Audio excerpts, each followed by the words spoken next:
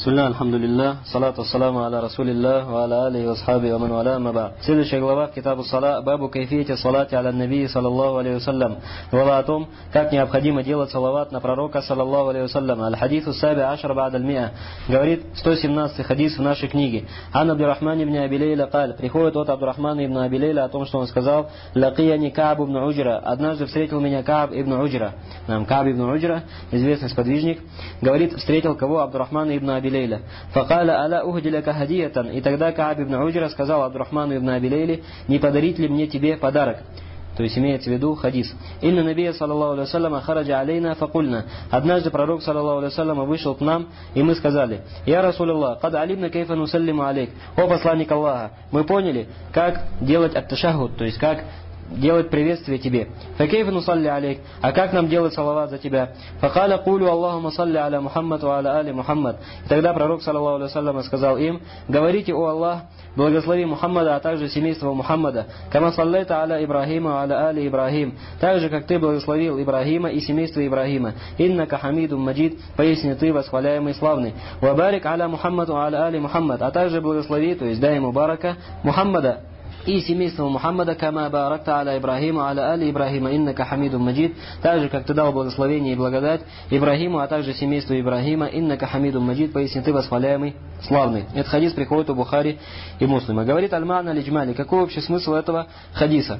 Говорит Такабаля Абдурахман ибн Абилейля, ахаду афадаль ат-таби'ин, ва уламаихим бикаб ибн Уджра. Говорит, однажды встретились. Такабаля, что такое мукабаля? Когда один приходит противоположно второму.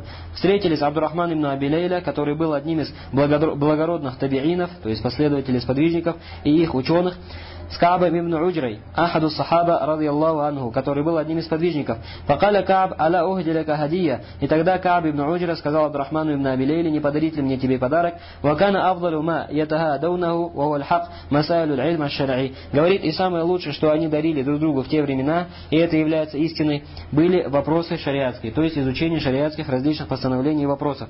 Фафариха Абдурахман биадиль хадия ас-самина. И обрадовался Абдурахман ибн Абилейля этому великому, тяжелому подарку, то есть ценному подарку. Вакаля бала ахди али. И сказал, конечно, подари мне этот подарок. Факаля Кааб, и тогда Кааб ибн Уджи сказал ему, хараджа алейна набию, саллаллаху алейhi факульна, однажды пророк, саллаллаху алейhi вышел к нам, и мы сказали, я Расулуллах, алламтана, кейфа нусаллиму алейк. О посланник Аллаха, ты обучил нам, обучил нас, как приветствовать тебя. То есть, как делать ташахуд за тебя в намазе. Валякин кейфа нусалли алейк. Но как нам делать салават за тебя? Факаля кулю. И тогда пророк, саллаллаху алейhi сказал, говорите, вадакара лахум сифата салат матлуба. И после этого упомянул им образ того, как необходимо делать салават за пророка, саллаллаху алейhi «Валлати ма'наха ат-талаб мин Аллахи та'аля ан юсалли аля набиихи Мухаммадин ва аля алихи». И смысл этого салавата, то, что ты в нем просишь у Всевышнего Аллаха, Субхану чтобы он юсалли, то есть благословил своего пророка и его семейство. Юсалли благословил, здесь имеется в виду, что упомянул о пророке, саллаллаху алейhi в высшем обществе, то есть среди высших ангелов. Говорит, «Вахум атба'уху аля динихи». А кто такие семейства Мухаммада? Говорит, это последователи Мухаммада, саллаллаху алейhi в его религии, то есть люди верующие. «Ван такуна ади сала фи баракатиха ва касратиха кассала аля абиль амбия Ибрахим». И ты просишь во время салавату Всевышнего Аллаха Субхану чтобы это благословение на нашего пророка Мухаммада, саллаллаху алейhi было в его благословении и в его количестве подобно благословению на отца всех пророков Ибрахима ва али Ибрагим, а также на семейство Ибрахима. Аллазина хумул амбия ва салихуна мин ба'ди, которые были пророками и праведниками после Ибрахима. Ва анязида фил хайри или Мухаммадин ва али, ты просишь этим самым, чтобы Всевышний Аллах Субхану Тааля добавил блага и добра Мухаммаду, саллаллаху алейхи салям, а также его семейству. А под семейством имеется в виду последователи пророка, саллаллаху алейхи из верующих. Кальбарака аллати хасалат ли али Ибрахим. И ты просишь добавки в этом благословении в этой благодати, подобно тому, как она была добавлена семейству Ибрахима, алейхиссалам. Фаин Аллах кафируль Мухаммед, ведь Всевышний Аллах Субхану премного восхваляем, сахибуль маджд, обладатель славы. Вамин сифату, фау кариб аль-ата, уаси ан-наваль. Говорит, и из этих атрибутов Всевышнего Аллаха Субхану что он близок и дает премного, уаси аннаваль, то есть он широко дарствует. Говорит Ихтиляф уляма, какое разногласие среди ученых относительно этих вопросов. ذهب الإمامان الشافعي وأحمد. Говорит два имама, имама Шафи, а также Ахмад, إلى وجوب الصلاة على النبي، صلى الله عليه وسلم، في التشهد الأخير من الصلاة. Считают обязательным читать салават на пророка, صلى الله عليه после последнего ташахуда в намазе. ولو تركت لم تصح الصلاة. И два имама, имам Шафи и Ахмад говорят, то, что если человек намеренно оставит салават на пророка, صلى الله عليه в намазе, то этот намаз является недействительным. مستدلين بقوله، صلى الله عليه حين سألوه. И в довод какой они и довод какой они использовали, то, что пророк, саллаллаху алейhi когда его спросили, кейфа нусалли алейк, как нам делать за тебя салават, сказал, кулю, говорите Аллаху масалли аля Мухаммад аль-хадис. Сказал, о Аллах, благослови на Мухаммада, говорите так-то, так-то. Ясно или нет? То есть откуда взяли здесь довод на обязательность и слов пророка, саллаллаху алейhi кулю, Говорите, это фиаль амр, обращенный к джама, обращенный к многочисленному количеству людей. А фиаль амр, как известно, указывает на обязательность. Поэтому они сказали в данном хадисе довод на обязательность салавата в намазе. Уасраху мидалика маахраджу аль-хакиму абу хатим. Говорите более явное, чем это, то, что приводится у аль-хакима, а также абу хатима в их двух достоверных сборниках «Кейфа нусалли алейка фи салатина аль-хадис». Как нам совершать салават за тебя в намазе. То есть в нашем хадисе, который мы разбираем, не сказано, что пророк, алейhi обучил салават салавату в намазе. Его спросили просто, как нам делать за тебя салават? Не сказали, что в намазе. Так и он сказал, говорите так-то, так-то. Это будет ваш салават за меня. Но говорит это не явно, что это приказ делать салават в намазе. Но приходит более явный риваят у Аль-Хакиме и у Абу Хатима, то, что сказано, как нам делать за тебя салават именно в намазе. Вот это ясно или нет? Говорит, это явный довод на то, что пророк, саллаллаху алейhi приказал им говорить салават такими-то и такими-то словами.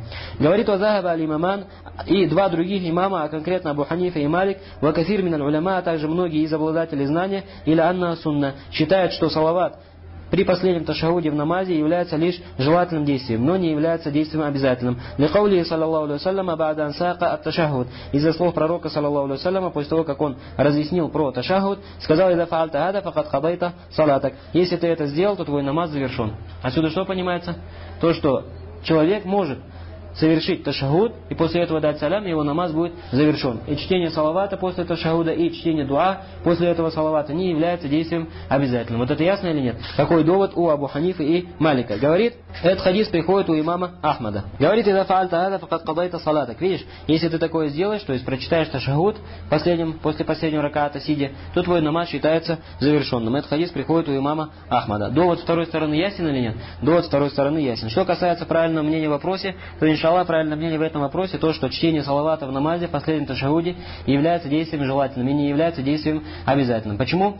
Что касается этого хадиса о том, что пророк, саллаллаху алейhi сказал им, говорите так-то и так-то, то это было ответом на вопрос. То есть пророк, саллаллаху алейhi без этого вопроса не указал сподвижникам, что салават делать в намазе является обязательным. А если бы это было обязательным, то пророк, саллаллаху алейhi не оттягивал бы разъяснение того, как этот салават нужно делать, но разъяснил бы это сподвижникам без того, чтобы ждать от них встречного вопроса. Вот это ясно или нет? И известно у ученых усуль фех то, что приказная форма, если она приходит как ответ на вопрос, это является одним из видов отведения обязательности на желательность. Ясно или нет? То есть, если задают тебе вопрос, и ты, отвечая на вопрос, отвечаешь в форме приказной, то это не означает, что за этим следует обязательность, но означает, что за этим следует лишь желательность. Почему? Потому что в арабском языке на какое-то требование невозможно отметить, ответить, кроме как ответом в приказной форме. Как нам говорить? Говорите так. Как нам делать? Делайте так. Как нам кушать? Кушайте так. То есть ты можешь ответить только в приказной форме. Поэтому этот хадис сам по себе недостаточен как довод на то, что салават, то есть произнесение салавата в намазе является действием обязательным. Говорит Аллахкам, какие постановления берутся из этого хадиса? Во-первых, уджубу салати аля наби саллаллаху алейhi фи ташахуд алахир фи сала. Обязательность произнесения салавата на пророка саллаллаху алейhi в последнем ташахуде намаза. Аля Абуль Алия, сказал Абуль Алия, Салату Аллах аля набии, санауху, алейхи вот азимуху. Говорит, что значит салават Всевышнего Аллаха на его пророка, то есть его цена, то есть его восхваление и возвеличивание. Когда Всевышний Аллах Субхану восхваляет пророка, саллаллаху алейhi среди ангелов. Нам, как мы говорили, более правильное мнение, что салават намазе в последнем ташауде не является обязательным, но является желательным. Говорит второе постановление, которое берется из этого хадиса, «Инна мин хакки наби, саллаллаху алейhi ан надру ва нусалли алейх». То, что одним из прав пророка, саллаллаху алейhi на нас является то, чтобы мы взывали к нему, э, взывали к нему, взывали за него, делали за него мольбу, ва нусалли алей, и делали за него салават. Ляну лям ясильна ада дин аль азим илля аля Потому что дошла до нас эта религия никак иначе, кроме как на его руках. То есть посредством нашего пророка, саллаллаху алейhi мы оказались на этой религии, то есть на знание относительно этой религии. И посредством тауфика Всевышнего Аллаха Субхану оказались мусульманами. Нам. И в действительности человек ни в коем случае не должен оставлять салават в намазе. То, что салават является желательным, не означает, что его необходимо оставлять.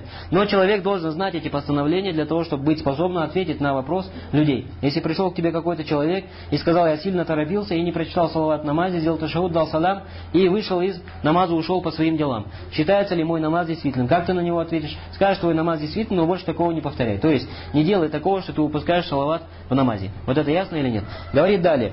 Второе или третье постановление, которое берется из этого хадиса, «Иннаху, саллаллаху алейhi вассаляма, аллама асхабу ассаляму салат алей». То, что пророк, саллаллаху алейhi вассаляма, обучал своих сподвижников ташахуду, а также тому, как произносить салават на пророка, саллаллаху алейhi вассаляма. Четвертое постановление, «Инна мин азбаб улю и ша'ни наби, уараф дараджати дуа уммати иля, саллаллаху алейhi вассаляма». То, что одна из причин возвышенности пророка, саллаллаху алейhi вассаляма, и его высокого положения, то, что вся его делает за него мольбу Всевышнему Аллаху, Субхану и Всевышний Аллах, Субхану отвечая на эту мольбу, возвышает уровень пророка, саллаллаху алейhi все выше и выше. Говорит пятый полезный момент, «Инна салафа кану ятахадауна масайл аль-ильм». В этом хадисе указание на то, что среди праведных предшественников было одариванием друг друга или причин, э, привычкой дарить друг другу подарки, которые заключались в чем? В разбирании различных вопросов знания. «Уэджалуна тухафан кийяма» и они, или «кайима», и они считали, что это драгоценные подарки. Тяжелые подарки, дорогие. «Уэй авдалю тухаф уль И в действительности это является наилучшими подарками и драгоценностями. Говорит Хамид. Что такое Хамидун Маджид? Восхваляемый, славный. Альхамду аль маджид илейхи майрджу аль камаль куллю. Говорит к этим двум свойствам или к этим двум именам Всевышнего Аллаха Субхану возвращается все его совершенство. Почему? Файн альхамда мустальзим лиль азама уль Потому что заслуга на восхваление несет за собой то, что объект восхваления является возвеличиваемым. Так, что это, на что это указывает? То, что если бы объект не обладал хотя бы одним качеством совершенства, то он не был бы достоин того, чтобы его восхваляли безгранично. Так или нет? А раз мы говорим, что он хамид, безгранично восхваляемый, это указывает на то, что он обладает всеми качествами совершенства, всеми атрибутами совершенства. Ясно или нет? Это то, что означает то, что имя Аль-Хамид, к нему возвращаются все Качество совершенства Всевышнего Аллаха Субхану Тааля. Вальмаджду далюн аля сифати азама валь джаляль. И то же самое слава, славность Всевышнего Аллаха Субхану Тааля указывает на эти атрибуты, на атрибуты величия и возвеличивания. Вальхамду ядуллю аля сифат аликрам. И также говорит альхамд, то есть восхваление Всевышнего Аллаха, указывает на атрибут щедрости Всевышнего. То есть, почему мы Всевышнего Аллаха Субхану Тааля восхваляем? Среди этого, то, что Он является щедрым по отношению к нам. Поэтому мы говорим, что к этим двум великим благородным атрибутам Всевышнего Аллаха Субхану возвращаются все имена Всевышнего Аллаха, а также все атрибуты его совершенства. Седьмое понятие аль-барака. Что такое аль-барака? Что значит благодать? Аннама уаззияда. Слово барака, его основа в арабском языке это аннама. Что такое янму? Янму, то есть произрастает, вырастает, так или нет. То есть произрастание уаззияда и добавка.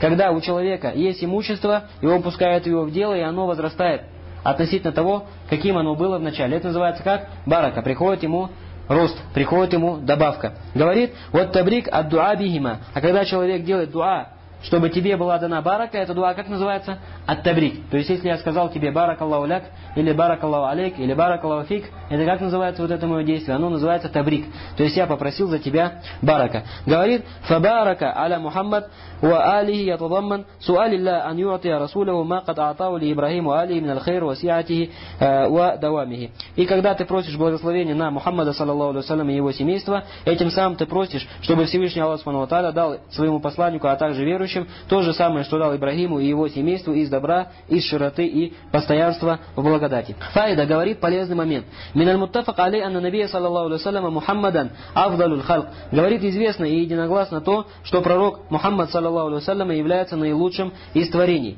Файд говорит, وعند علماء البيان أن المشبه أقل رتبة من المشبه به. И говорит у ученых по баяну, что такое баян? То есть одна из наук, красноречие арабского языка. То есть Баян – это один из разделов науки Аль-Балага. Как известно, наука Аль-Балага состоит из трех больших разделов. Один из этих разделов называется Аль-Баян. Так вот, ученые Баяна о чем говорят? То, что тот, кого сравнивают, обычно бывает ниже по положению, нежели тот, с кем сравнивают. То есть, если ты говоришь, Мансур подобен льву, Вопрос, кто более, то есть имеется в виду в храбрости. Вопрос, кто более храбрый, Мансур или Лев? Лев. Потому что тот, кого сравнивают, обычно бывает ниже по уровню, чем тот, с кем его сравнивают. А иначе было бы, не было бы смысла сравнивать одно с другим, так или нет? Если бы ты говорил, Лев подобен Мансуру, то есть и Мансур при этом менее храбрый, чем Лев, и менее сильный, чем Лев. Тогда не остается смысла сравнения. Говорит, «Лянна алгарада мин тажбих ильхакуху бихи фиссифа индан набиин». Потому что, говорит, цель какая от уподобления? То, что пророка Мухаммада, саллаллаху алейhi приписывают э, к пророку Ибрагиму в этом случае.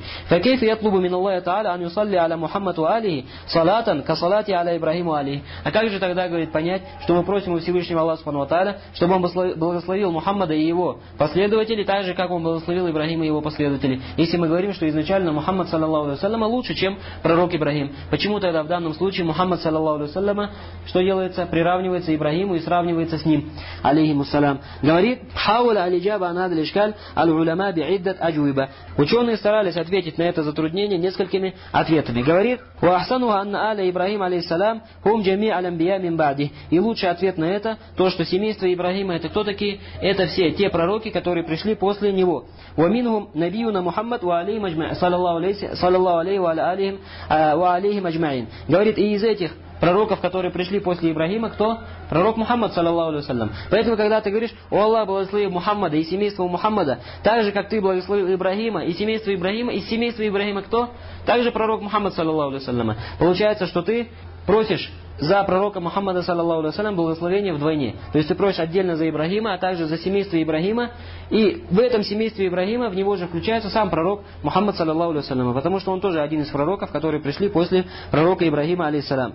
Говорит Фальмана, «Анну ютлабу лин наби у алихи, салатан кассала аллати ли джами алямбия, мин ладун Ибрагим, алейхи салату вассалам». Говорит, отсюда получается, что ты просишь за нашего пророка Мухаммада, саллаллаху алейhi и его последователей, благословения, которым были благословены не только Ибрагим, алейхиссалам, алейхиссалам, но все пророки, которые пришли после него, в том числе Мухаммад, саллаллаху алейхиссалам. То есть просишь за Мухаммада многократно больше благословения, чем на Ибрагима, алейхиссалам. ومن المعلوم أن كلها تكون أفضل من الصلاة للنبي صلى الله عليه وسلم وحده والله أعلم. И известно то, что все эти салаваты за Ибрагима, а также за всех пророков, которые пришли после него, в том числе за пророка Мухаммада, саллаллаху алейhi выше, нежели просить благословения просто за одного пророка Мухаммада, саллаллаху алейhi Говорит, Фаида Сани, говорит второй полезный момент – Каля шейх Ислам Ибн Таймия фи Маджму Фатава. Сказал шейх Ислам Ибн Таймия в своей книге Маджму Фатава. Или лучше говорить Кама фи Маджму Фатава. Как это пришло в Маджму Фатава? Потому что шейх Ислам Ибн Таймия не является непосредственным автором Маджму Фатава. Таиб. Но Маджму Фатава это не что иное, как собрание его сочинений разных с разных мест. Говорит аля хадис аллати фи сахах лам аджид фиха валя фима нукиля лавз Ибрахиму али Ибрахим. Говорит шейх Ислам Таймия, говорит в тех хадисах, в которых приходит указание на салават на пророка, саллаллаху алейhi я нигде не видел, чтобы было сказано Ибрахиму али Ибрахим. На Ибрахима и на семейство Ибрахима. Баль машур фи актир ля хадис вот турух лавз Ибрахим. Говорит, но в большинстве иснадов и большинстве матнов этого хадиса приходит просто, как ты благословил Ибрахима. Так, говорит Вафибалда лавз алю Ибрахим. А в некоторых риваятах приходит так же, как ты благословил семейство Ибрахима. То есть отдельно приходит либо Ибрахим, либо семейство Ибрахима. Но чтобы в одном хадисе пришло и Ибрахим, и семейство Ибрахима, шейх Ислам Таймия говорит, я говорит, такого не встречал. Вакадру я лавз Ибрахиму али Ибрахим фи хадис раваху аль бейхаки. Говорит и передается эта фраза Ибрахиму али Ибрахим, то есть вместе собраны и Ибрахим, и семейство Ибрахима в хадисе, который передает аль бейхаки. Валям яблугани иля са хадис муснат би сабит. Говорит шейх Ислам Тайми, и до сегодняшнего моего часа до меня не дошел хадис, то есть я не нашел такого хадиса, который приходил бы с полноценным иснадом, чтобы в нем было кама саллайта аля Ибрахим, ва кама аля Ибрахиму али Ибрахим. Чтобы в нем приходило так же, как ты благословил Ибрагима и семейство Ибрагима. Приходит либо Ибрагим, либо семейство Ибрагима по отдельности. Но чтобы приходило и Ибрагим, и семейство Ибрагима, говорит шейх Ислам, такого, говорит, я нигде в достоверных иснадах не встречал. Эти слова правильные или нет? Эти слова неправильные, так или нет? Нам. Видим мы здесь, в нашем же хадисе, который у нас приходит здесь в главе, и этот хадис у Бухари и Муслима, что приходит Ибрагиму, Али Ибрагим. Ясно или нет? Так, значит, это является чем? Оплошностью шейха Ислама и Тайми в этом вопросе. И шейх Абдулла Басам привел это для чего? Для того, чтобы указать на это. Чтобы люди, прочитав слова шейха Ислама и Тайми, не допустили такую же оплошность как произошла от него. Ясно или нет? Говорит, «Ватабаху Ибн Аль-Каим фи китабе Джаля Уляфхам». Говорит, и в этом за шейху Ислам последовал также Ибн Аль-Каим в своей книге Джаля Уляфхам. Факал и сказал, «Инна аксара ла хадиса сихах валь хисан, баль куллюха сариха фи зикре наби саллаллаху алейсалям ва зикре алихи». Говорит Ибн Аль-Каим, большинство хадисов достоверных, а также хороших, более того, все они явно заявляют о том, что мы просим благословения на пророка и на его семейство. «Уамма маджа фи хакки Ибрахиму али», а что касается того, что мы просим такого же благословения, какое было на Ибрахима и на его семейство, фаинна маджаат бидикри али Ибрахим факат, то приходит в хадисах только упоминание Алю Ибрахим, семейства Ибрахима. Дуна дикри Ибрахим, а не упоминание самого Ибрахима. А у бидикри факат, дуна дикри Али, или упоминание только Ибрахима без упоминания его семейства. То есть Ибн Каим что делает? Повторяя слова Шейху Ислами Тайми, так же, как он сказал, говорит Ибн Каим. Ясно или нет? Говорит, «Валям яджи хадис сахих филавза Ибрахиму али Ибрахим». И говорит, нет достоверного хадиса, в котором бы приходило сразу упоминание Ибрахима и его семейства. Говорит, Вама джалалати кадри ибн Таймия, у Атильмиды ибн Аль-Каим, говорит шейх Абдулла Аль-Басаб, и вместе с величием и великим положением в этой общине Ибн Таймия, а также его ученика Ибн Аль-Каима, вакаунухума махаллю сика фирривая ваддирая, и то, что мы доверяем им в различных вопросах различных риваятах и разъяснении различных матнам, матнах, фаинна нунабби аль-курра или аннама калау фи кутубихима, вахия мутадау или макруа, говорит, мы здесь обращаем внимание на то, что эти слова шейху ислама, а также Ибн Аль-Каима, которые они записали в своих книгах, и эти книги имеются у нас, и мы их читаем. Кадвака афи вахамун фиадал мабхас. Говорит они, то есть как шейх ислам, так и Ибн Каим, допустили вахам, допустили что? Оплошность в этом вопросе и в этом исследовании. Узалик анна джама бейна Ибрахим али Ибрахим фи сала ва фи табрик каджа фи сахини. Говорит, почему? Потому что собрание между Ибрахимом и его семейством и просьбы благословения на пророка Мухаммада саллаллаху алейхи салям, а такого же, как на Ибрахима и его семейство, пришло у Бухари и Муслима. Ва мизалика хадису Кааб ибн Уджра, аллази сакаху муаллиф, умнатил ахкам. И из этого хадис Кааба ибн Уджра, который у нас в главе под номером каким? Под номером 117, который приведен автором книги Умдатул Ахкам, то есть имамом Абдулгани Аль-Махдиси. Говорит, «Валлади нахну бисададихи». Тот хадис, который мы сейчас разбираем. Говорит, «Вабада татаббу иля хадис кайфияти сала аля наби саллаллаху алейhi салям фил уммахат ва шурухиха ваджатту шейх Наср один аль-Альбани кад накада аш-шейхейни». И говорит, после того, как я изучил различные хадисы, в которых приходит указание на то, как нужно делать салават за пророка, саллаллаху алейhi я увидел, что также и шейх Насруддин Аль-Альбани, что делал, раскритиковал шейх Ислам Ибн Тайми Ибн Каима за это исследование и за эту их оплошность. Говорит Ибн, Тай, Ибн Таймия о сахибихи бимисли ма культуху. То есть относительно Ибн Тайми Ибн Каима, так же, как я об этом сказал. Вот это ясно или нет? Этот вопрос, иншаллах, понятен. Говорит Аль-Фаида Ас-Салиса. Поэтому многие из саляфитов или многие из братьев считают, что когда ты делаешь, салави, э, когда ты делаешь салават на пророка, саллаллаху алейхи не нужно произносить «Ва аля Ибрагиму, аля али Ибрагим». Но говорят, нужно говорить либо Ибрагим, либо али Ибрагим. Это является ошибкой. Откуда у них эта ошибка произошла? То есть от чтения этих слов Шейх Ислам Тайми или Ибн Аль-Каим, либо из Маджмуль Фатава, либо из книги Ибн Аль-Каима Джалау Джаляуля Вот это ясно или нет? На это обольщаться не нужно. Далее. Теперь третий полезный момент. Лямма дакара Шейх Ислам Тайми аля хадис вот турук, аллати варадат фи кайфиете сала аля Наби, саллаллаху алейсалама, говорит после того, как шейх Ислам Ибн Тайми упомянул различные хадисы, а также иснады, в которых приходит указание на то, как необходимо делать салават на пророка, саллаллаху алейсалама, би аль-фадиха аль-мухталифа, ва риваятиха аль-мутанауиа, кали рахимахуллах. Вместе с тем, что эти Хадисы приходят с различными словами и с различными риваятами. Шейх Улислам Ибн Таймия после этого сказал: "Мин аль-мутаахирина ман салака фи ба'д хадhi al-ad'iya wal azkar allati kana набию саллаллаху алейхи вассалям якулюха". Говорит, некоторые из поздних ученых взяли эти различные дуа и различные поминания, которые приходят относительно салавата на пророка саллаллаху алейхи вассаляма, ва я'малу аби альфаз мутанауиа. Эти различные слова и риваяты салака фи ба'д аль-мутаахирин тарикату мухдаса би анджама тилька альфаз. Некоторые говорит, из поздних ученых совершили новое дело и начали читать салават и все эти различные виды. То есть, что хочет сказать Шейх Ислам Тайми? Говорит салават на пророка, саллаллаху алейhi в книгах, хадисах, хадисов и в различных риваятах утвержден чем? Утвержден различными формами, различными словами. В некоторых хадисах приходит, что салават нужно так читать, в некоторых хадисах приходит, салават нужно по-другому читать. И некоторые говорит, из поздних ученых пришли и что начали делать? Начали собирать в один салават все эти виды, все эти формы. Садиться на салават Первую форму прочитывают, вторую форму прочитывают, третью форму прочитывают. Говорит, эта дорога является какой? Дорогой нововведенной, то есть не дорогой правильной. Мухдаса говорит. Говорит, «Устахабба залика, вара азалика, авдаль маюкаль фиха». И некоторые из, из э, поздних ученых посчитали это дело желательным и то, что это является наилучшим путем. Говорит, «Ватарду ади тарика аньязгура ташават биджами адир альфад аль маасура». Говорит шейх ислам, и тогда уж давайте применять эту дорогу везде. И тогда уж и ташахуд будем читать различными видами в одном и том же намазе. Говорит, «Уан юкаль аль-истифтах биджами аль-альфад аль маасура». И тогда дуа аль-истифтах тоже перед фатихой будем в одном намазе все виды сразу читать. «Уадама анну хиляф амаль муслимин». Говорите, вместе с тем, что это противоречит деянию мусульман, «Лам ястахибу ахад мина имматихим». Говорит, вместе с этим никто из имамов мусульман не считает это деяние позволительным или это деяние тем более желательным. Баль амиля бихиляфихи. Наоборот, имамы мусульман действовали в противоречии этому, то есть читали только по одному виду в намазе. Фау бида фишар фасидун фил акль. Говорит шейх Ислам Тайми, и это является нововведением в шариате и является неправильным в разуме. Что является нововведением в шариате?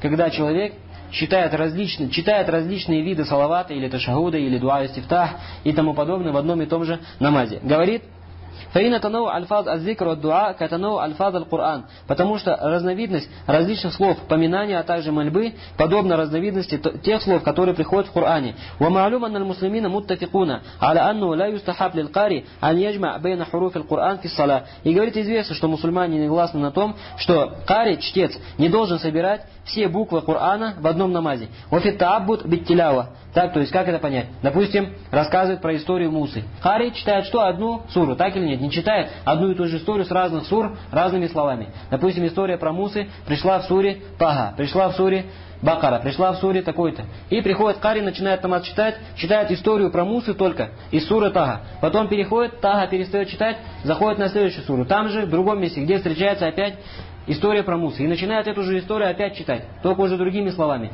Говорит единогласные мусульмане то, что это не является чем? Правильным, это не является требуемым. Говорит, «Уалякин ида кара биади тара у биади тара ухра кана хасанан». Но если он читает иногда в одном намазе один отрывок, в другом намазе уже читает другой отрывок, тогда это является благом. Кадали калазкар вот дуа, то же самое поминание и мольбы. Фаида ташахада тара биташахут ибн Масруд, ватара биташахут ибн Аббас, ватара биташахут Умар кана хасанан. Поэтому мы говорим, если человек в одном намазе читает такой-то шахуд, который пришел в хадисе Ибн Масруда, в другом намазе читает такой-то шахуд, который пришел в хадисе Ибн Аббаса, в третьем намазе читает такой-то шахуд, который пришел в хадисе Умара, тогда это хорошо. Но чтобы собирать сразу все эти ташахуды в одном намазе и зачитывать за один раз, это не является правильным. По филистифтах или стафтаха тарата биистифтах Умар, то же самое дуа улистифтах, который читается после такбира тулихрам и перед сурой Фатиха. Если иногда читает дуа улистифтах, который приходит в хадисе Умара, ватара биистифтах Али, а иногда который приходит в хадисе Али, ватара истифтах Аби Гурейра, а иногда такой истифтах, который приходит в хадисе Абу Гурейра,